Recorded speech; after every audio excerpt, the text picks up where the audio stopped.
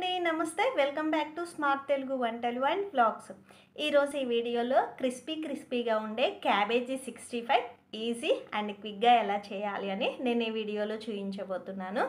ముందుగా క్యాబేజ్ని ఇలా సన్నగా ముక్కలుగా తరిగి పెట్టుకోవాలి. ఆ తర్వాత ఒక రెండు స్పూన్ల శనగపిండి తీసుకోండి.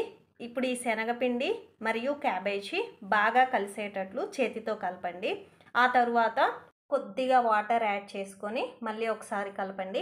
వాటర్ ఎక్కువ పోయొద్దు. వాటర్ ఎక్కువ పోస్తే మీకు క్యాబేజీ అనేది క్రిస్పీ క్రిస్పీగా రాదు. నేను వీడియో క్లిప్లో చూపిస్తున్నట్లుగా ఈ కన్సిస్టెన్సీలో పొడి పొడిగా ఉండాలి. ఇప్పుడు స్టవ్ ఆన్ చేసి ఒక ప్యాన్ పెట్టుకొని దాంట్లో ఆయిల్ వేసుకొని ఆయిల్ బాగా వేడైన తర్వాత మనం ముందుగా ప్రిపేర్ చేసుకున్న క్యాబేజీ మిశ్రమాన్ని ఆయిల్లో వేయండి. మీకు ఈ cabbage ఉడకటానికి ten to fifteen minutes time పడుతుంది.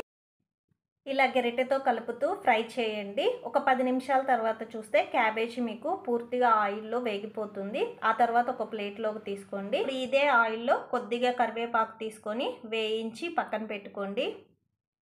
ఆ తర్వాత మనం ముందుగా వేయించుకున్న క్యాబేజ్ని ఒక బౌల్లోకి తీసుకోండి. దానిలోకి సరిపడా ఉప్పు కొద్దిగా పసుపు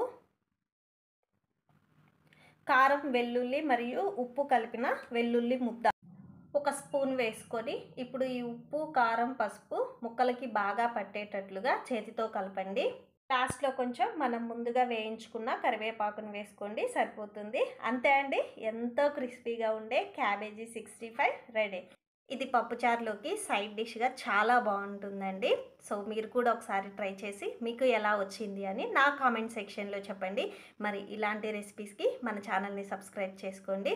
మీకు ఈ వీడియో నచ్చితే ప్లీజ్ లైక్ చేయండి. మీ ఫ్రెండ్స్కి మీ రిలేటివ్స్కి షేర్ చేయండి. అండ్ మన ఛానల్ని సబ్స్క్రైబ్ చేసుకోండి. Thank you and thanks for watching.